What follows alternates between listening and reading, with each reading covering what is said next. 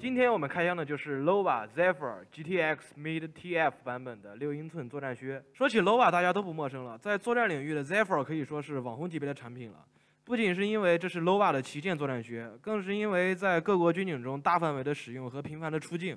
如果你是一个爱好军事的人，想不看到它都难。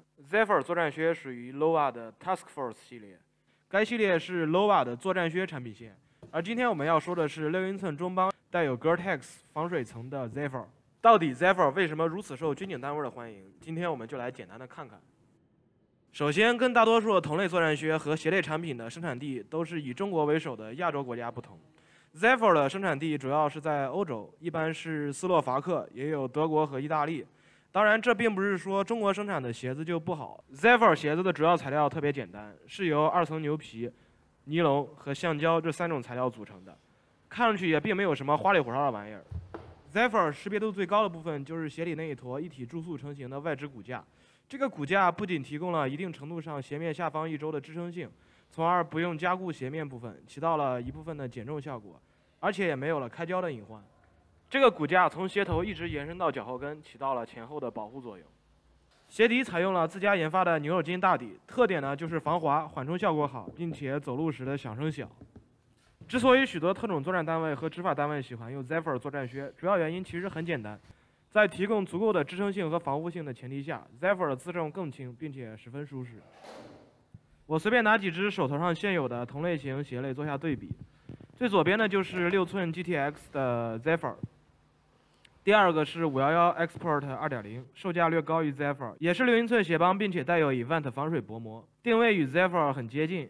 第三个是始祖鸟的 Bora 2 Mid 六英寸的 GTX 重装徒步鞋，配置与 Zephyr 十分相似，价格却要高出许多。第四个是511 Cable Hiker 战术徒步鞋，无防水薄膜，六英寸。最后一个就是511的跑鞋，只是个重量参照项，因为所有鞋子都是一个尺码的，所以我们可以先称个重，对比一下。先看 Zephyr 六百一十四克，再看511 Expert 2.0，七百九十六克，将近八百克了。再看始祖鸟。六百四十八克，再看五幺幺开包 hiker，七百二十四克，五幺幺的好重啊！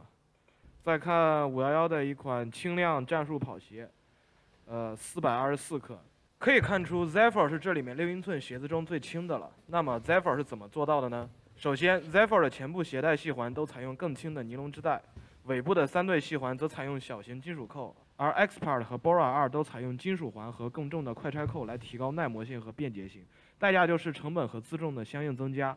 最主要的原因是 Zephyr 的鞋面层数较少，结构密度小，而 Expert 2.0为了提供更强大的防护性和耐久度，用许多高强度材料互相拼接，并做了繁杂的车线加固处理，这自然会使自重居高不下。Bora 二不仅做了许多减重设计，还采用了更先进少见的一体式压胶鞋壳。目的也是为了减重，所以只比 Zephyr 稍微重一些。鞋头防护上，Expert 采用的是高规格的硬质鞋头，敲上去硬邦邦的，而 Zephyr 更软一些，但支撑性很好。Bora 其次，而 Cable Hiker 用手就能压扁。但 Zephyr 的一个缺点就是因结构的原因，后方的提把位置太低，用起来没有其他几款顺手。当处在蹲坐、半跪等姿势时，鞋体将会被大幅度的弯曲，这时候长期的挤压和磨损将会使弯折处的鞋体受到破损，这就需要合理的结构来承受这种弯折。Zephyr 在这里做出了两个有效的关节来适应这种情况，Expert 二这方面则做得更加明显。Bora 二因为是一体式压胶鞋壳，所以完全没有这类设计，以至于弯折处很容易破损和开胶。那么本期的开箱就到这里了。如果你还觉得有什么更好玩的装备想让我们开箱的话，就在评论区里留言吧。快来下载奇客 APP，分享你的装备。